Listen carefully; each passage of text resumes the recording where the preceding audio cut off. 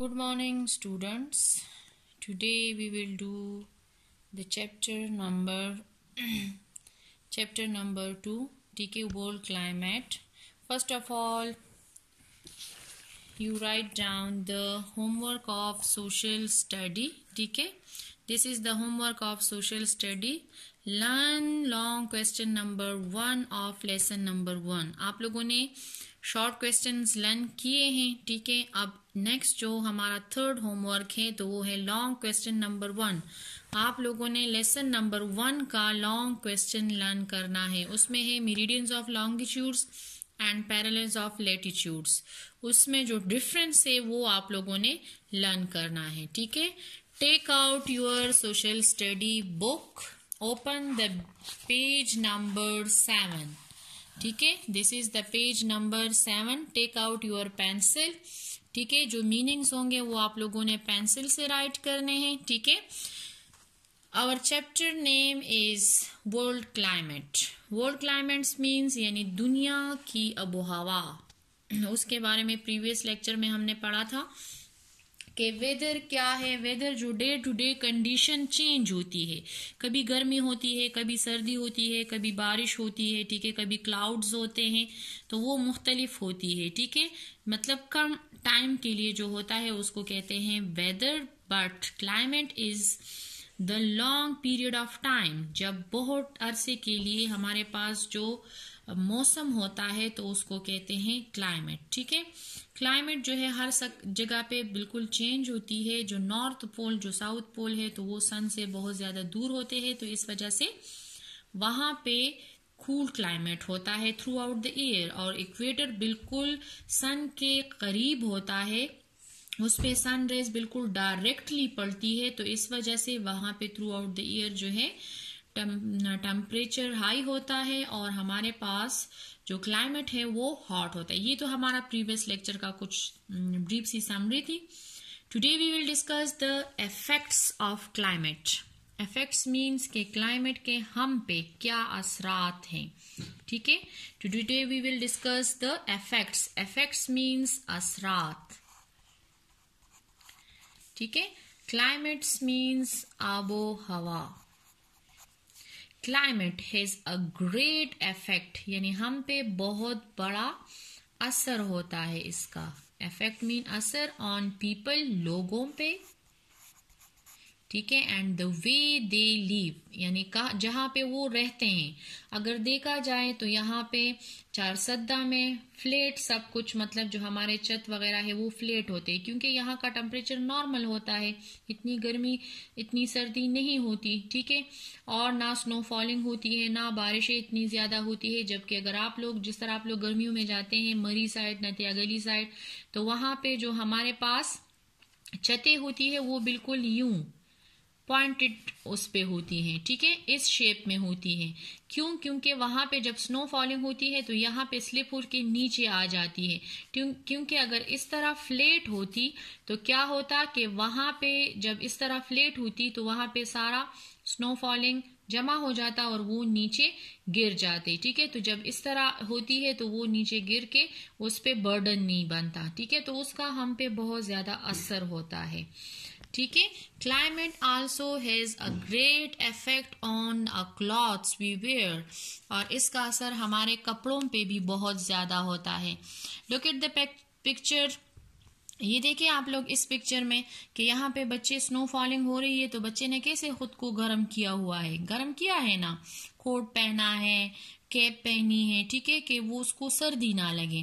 तो इसी वजह से जहाँ पे बहुत ज़्यादा सर्दी होती है तो वहाँ पे लोग क्या करते हैं, गर्म कपड़े पहनते हैं। और जहाँ पे बहुत ज़्यादा गर्मी होती है तो वो लोग फिर ठंडे कपड़े पहनते हैं, ताकि उनको सर गर्मी ना लगे। ठीक है? तो ये हमारे पास है। जिस तरह आप लोग गर्मियों में क्या करते हैं, स्कूल जब आते हैं तो आप लोगों के हाफ़ स्लीव्स होते हैं ठीक है फ़ैन लगा होता है स्कूल में, ठीक है, आप लोगों का यूनिफॉर्म इतना नहीं, लेकिन जब सर्दी होती है तो आप लोगों का अपना स्वेटर भी होता है यूनिफॉर्म का कोट भी होता है सॉक्स भी पहने होते हैं शूज़ भी होते हैं कैप भी पहना होता है, ठीक है तो इसी वजह से और आप लोग जो है खुद को गर्म करते हैं, गर्म खुराक खाते हैं ताकि आप लोग गर्म रहें तो इस वजह से आप लोगों का जो टेम्परेचर है वो नॉर्मल रहता है। तो इसलिए क्लॉथ्स जो कपड़े हम पहनते हैं, ठीक है, आप लोग देखते हैं ना कि गर्मियों में हम ठंडे कपड़े पहनते हैं, पतले होते हैं, और जब गर्मियाँ सर्दियाँ होती हैं तो बहुत ज़्यादा मोटे उलन के कपड़े पहनते हैं, ऊल के। क्लॉथ्स मीन्स कपड़े, ठीक है वेयर पहनना द फ़ूड वी ईट जो खुराक हम करते हैं, जैसे लाइक सर्दियों में आप लोग सूप सूप पीते हैं, ठीक है? क्या करते गरम चाय पीते हैं, ठीक है? कॉफ़ी पीते हैं गरम गरम खुराक करते हैं, जबकि सर्दियों में क्या करते हैं गर्मियों में क्या करते हैं? आइसक्रीम खाते हैं, आइस पानी में डाल के ठंडा पानी पीते हैं, ठीक है? एसी लगाते हैं रूम्स में मतलब आप लोग ज़्यादातर घर के अंदर रहते हैं ताकि आप लोगों को पेन के नीचे के आप लोगों को सर गर्मी ना लगे, ठीक है? पानी में खेलते हैं जबकि धूप में आप लोग नहीं बैठते बल्कि उससे दूर भागते हैं। जबकि हमारे पास जब सर्दियाँ होती है तो हम धूप में बैठना पसंद करते हैं। क्यों? क्योंकि उस टाइम पे हमें खुद को गर्म करना होता है। In the way we spend our leisure time the way we spend spend mean गुजारना ठीक है लेजियर मीन्स फारिग फारिग टाइम वक्त ठीक है फारिग टाइम ठीक है इन अ वार्म क्लाइमेट क्या कहते हैं कि हम ज़्यादातर जो फारिग टाइम स्पेंड करते हैं तो वो नत्यागली और मरी और स्वात उस साइड पे जाते हैं, वहाँ पानी में खेलते हैं, ठीक है? तो अपने टेम्परेचर को नॉर्मल करने के लिए इन अ वार्म क्लाइमेट जब बहुत ज़्यादा गर्मी होती है, ठीक है? वार्म मीन्स गर्म, ठीक है? People can take part in outdoor वो घर से बाहर, घर से बाहर खेलना पसंद करते हैं, ठीक है? मीन्स के घर के बाहर जैसे आप लोग जिनके घर में एसी नहीं होता तो वो तो मतलब कमरों में गर्मी में नहीं सोते हैं ना, बाहर सहन में सो जाते हैं। इन द वाटर स्पोर्ट्स और पानी के साथ खेलना पसंद करते हैं। ठीक है, वो वाले गेम खेलते हैं जो पानी में होते हैं, सर्दियों में, गर्मियों में। क्यों? क्योंकि उनको गर्मी लग रही होती है तो जब पानी के साथ वो खेलते हैं तो क्या हो जाता है? उनका बॉडी टेम्परेचर नॉर्मल हो जाता है और उनको फिर ज़्यादा गर्मी नहीं लगती। देखिए आप लोग इस पिक्चर को look at the picture outdoor activities in the summer ठीक है, ये लोग देखे ना, गर्मी है तो सब लोग जो है समंदर, दरिया में ठीक है, कश्ती में चक्कर लगा रहे हैं, ठीक है मतलब क्लाइमेट को एंजॉय कर रहे हैं। ठीक है, इसी तरह कोस्टल क्लाइमेट इन माइल्ड ठीक है जो हमारे पास ना बहुत गर्मी होती है ना सर्दी होती है और ये समंदर का साहिली इलाका है। मीन समंदर का किनारा है। कोस्टल मीन साहिली। साहिली का मतलब है यानी किनारा। Look at here in the cool climates, people can still take part in outdoor sports. Cool means जब ठंडा मौसम होता है, ठीक है people can still take part in outdoor sport तो वो क्या करते हैं? बाहर धूप में जाना पसंद करते हैं but they mostly prepare prefer means तरजीह देते हैं किस चीज़ को? टू स्टे इनडोर के घर के अंदर रहें, ठीक है स्टे मीन्स रहें, ठीक है स्टे करें। इंडोर मीन्स घर के अंदर। ठीक है? एंजॉय लुत्फ उठाएँ। एंजॉय करें। लुत्फ उठाएँ। इंडोर गेम्स और जो घर के अंदर जिस तरह क्रीम बोर्ड होता है, लड्डू होती है, ठीक है? कार्ड्स लोग खेलते हैं, ठीक है? मोबाइल पे गेम्स खेलते हैं कंप्यूटर पे गेम्स करते करते हैं, ठीक है? तो इसी तरह वो लोग वही गेम से वो खुद को क्या करते हैं? इंजॉय करते हैं, ठीक है ना? इसको तरजीह देते हैं, क्योंकि घर के अंदर रहते हैं तो हीटर लगा होता है रूम में और कंप्यूटर के सामने या फिर मोबाइल के सामने या क्रीम बोर्ड जो भी हो, वो गेम्स खेलते रहते हैं और वो उनको एंजॉय करते हैं, ठीक है? टर्न द पेज नंबर ठीक है एट एट पे हम आए तो ये हमारे पास पेज नंबर एट है टेक आउट योर पेंसिल ठीक है? और पेंसिल से ही आप लोगों ने वर्ड्स मीनिंग राइट करनी है। जिस तरह मैं पेंसिल से राइट कर रही हूँ इसी तरह करना है। ठीक है, ये देखे, यहाँ पे लोग जो है स्नो के साथ खेल रहे ये देखो, ये लोगों ने बनाया है। ठीक है स्नोमैन बनाया है। ये भी एक अच्छी एक्टिविटी है, क्योंकि लोग इन स्नो के साथ खेलते हैं तो उनका बॉडी टेम्परेचर नॉर्मल होता है। यहाँ पे देखे ये हमारे पास में राइडिंग कर रहा है, ठीक है? तो ये स्नो में कर रहा है स्नो में जा रहे उनके साथ खेल रहे हैं, ठीक है? In some parts of the world दुनिया के कुछ हिस्से हिस्से मीन्स वर्ल्ड दुनिया के where there is a lot of rainfall के हमारे पास दुनिया के कुछ हिस्सों में बहुत ज़्यादा बारिश होती है। क्या होती है? बारिश होती है लॉट ज़्यादा। ज़्यादा बारिश होती है एंड मैनी ट्रीज और कई ट्रीज ठीक है people use wood to make their houses कहते हैं कि वहाँ पे लोग जो है अपने घर किस चीज़ से बनाते हैं? लकड़ी से बनाते हैं। ठीक है हाउसेज मीन्स घर। घर जो है उठ से क्यों बनाते हैं, लकड़ी से क्यों बनाते हैं? क्योंकि वहाँ पे रेनफॉल ज़्यादा होती है। और जिन इलाकों में रेनफॉल ज़्यादा होती है तो वहाँ पे ट्रीज ज़्यादा होती है। तो इसी वजह से वहाँ पे जब ट्रीज ज़्यादा होंगे तो वो लोग अपनी आसानी के लिए वही ट्रीज काट के उसी से अपने लिए घर बनाते हैं। ठीक है ना? आप लोग मरी स्वात और वहाँ पे गए हैं ना? आप लोग जानते हैं वहाँ पे आप लोगों ने होटल्स देखे हैं ना? ज़्यादातर होटल जो है, किस चीज़ के बने होते हैं? लकड़ी के होते हैं ना? वहाँ पे जो पहाड़ों पे घर बने होते हैं, वो ज़्यादातर लकड़ियों के होते हैं। तो इसी तरह हमारे पास जहाँ पे रेनफॉल बारिश ज़्यादा होती है, वहाँ पे उड यानी लकड़ी फॉरेस्ट ज़्यादा होते हैं और वहाँ के लोग वही लकड़ी काट के अपने घर भी बनाते हैं और उनका रोज़गार भी होता है। वही लकड़ी काट के वो जो है बेचते हैं और उससे अपने लिए पैसे कमाते हैं। ठीक है? Next paragraph some crops grow well in cool climate हमारे पास अब हम क्रॉप्स की तरफ़ आते हैं, ठीक है? ये देखिए, ये हमारे दीज आर फील्ड्स देखिए ये ये हमारे पास राइस फ़ील्ड है, यानी जहाँ पे चावल उगते हैं। चावल कहाँ पे उगते हैं? जहाँ पे पानी मतलब जितने टाइम तक ये चावल वहाँ होते हैं, वहाँ पे पानी कड़ा होता है। ये वीट फील्ड्स से, ठीक है, जहाँ पे गंदम होते हैं तो हमारे पास कुछ जो है क्रॉप्स वो क्या होते हैं?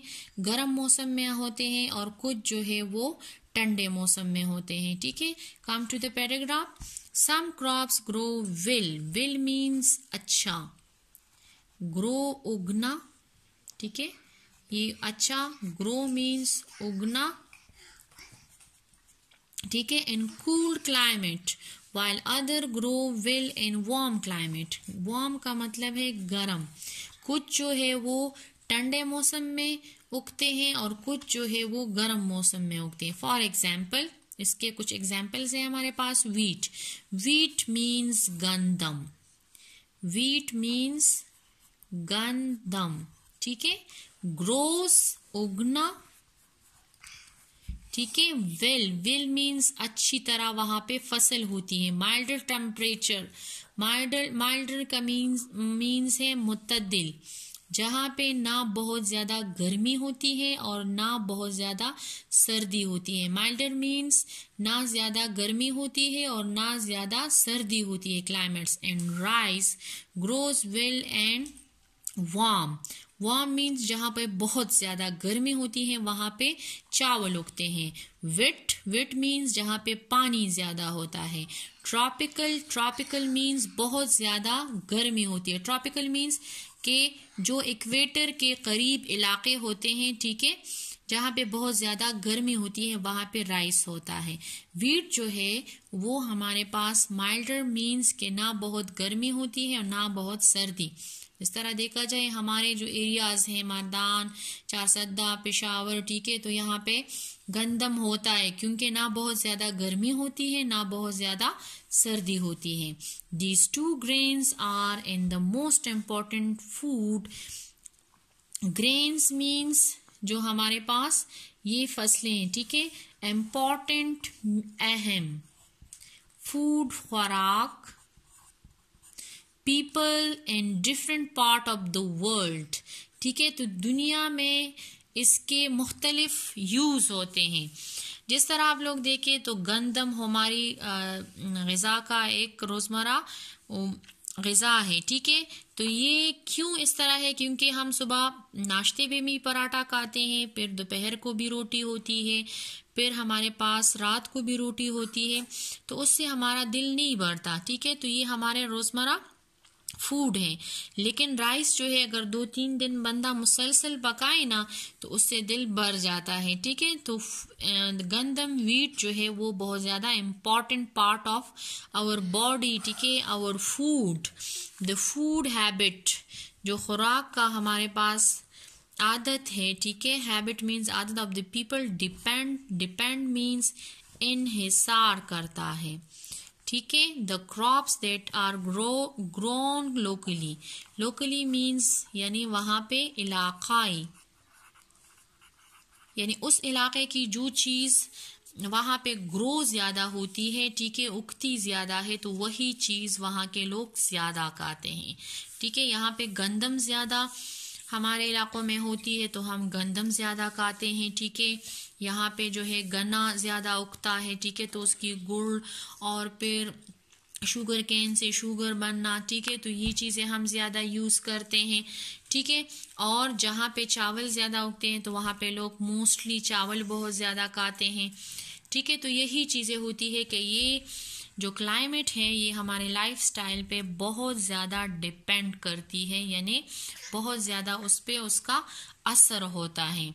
क्योंकि उससे हमारी लाइफ स्टाइल जो है, वो बिल्कुल चेंज हो जाती है और हमारा जो रहन सहन है, हमारी खुराक है, हमारा लिबास है ठीक है और हमारा मतलब जो एक्टिविटीज़ हैं जॉब्स वगैरह हैं, ठीक है तो वो बिल्कुल चेंज हो जाती है। जॉब्स किस तरह? कि यहाँ पे कोई डॉक्टर होता है, कोई शॉपकीपर कोई जो है इंजीनियर कोई टीचर यहाँ है। लेकिन जो हमारे पास नॉर्दर्न एरियाज़ हैं तो वहाँ पर मोस्टली लोग जो है वो फॉरेस्ट काट, काटते हैं और वो बेचते हैं उससे अपने लिए पैसे कमाते हैं। कुछ लोग जो है वो यहाँ पे आके कुछ जॉब कर लेते हैं। कुछ लोग जो है वो होटल्स वगैरह होटल वगैरह में काम कर लेते हैं। जिस तरह आप लोग सर्दियों में जाते हैं ना, वहाँ पे स्टे करते हैं तो उसकी मनी आप लोग उनको देते हैं तो उसी से वो अपने लिए पैसे कमाते हैं, ठीक है? This is our today lecture ठीक है?